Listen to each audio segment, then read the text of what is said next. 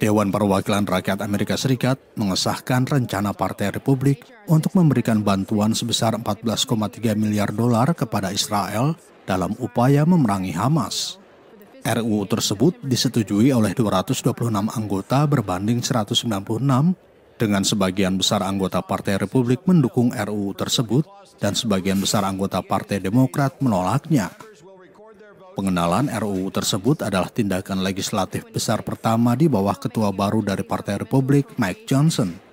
Presiden Joe Biden telah mengancam akan melakukan veto dan Senator Chuck Schumer, pemimpin mayoritas Senat yang dikuasai Partai Demokrat mengatakan dia tidak akan membahas hal tersebut dalam pemungutan suara.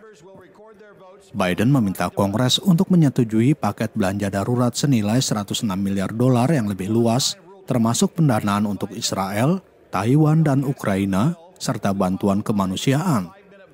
Schumer mengatakan Senat akan mempertimbangkan rancangan undang-undang bipartisan yang membahas prioritas yang lebih luas. Dana dalam RUU tersebut mencakup miliaran dolar untuk militer Israel, termasuk 4 miliar dolar untuk pengadaan sistem pertahanan Iron Dome Israel dan David Sling untuk melawan ancaman roket jarak pendek, serta sejumlah transfer peralatan dari Amerika Serikat. Nusantara TV melaporkan.